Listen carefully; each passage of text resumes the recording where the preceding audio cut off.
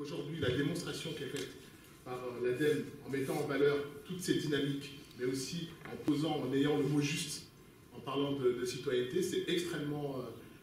important et donc on le verra tout au long de, cette journée, extrêmement important dans un contexte tendu sur le plan international, des événements, et je veux avoir une pensée particulière, et j'imagine que M. le ministre en dira quelques mots pour les événements qui ont eu lieu aujourd'hui, une pensée pour ces cinq victimes et les, donc c'est dire qu'on est en plein dans une actualité tendue et, et sensible.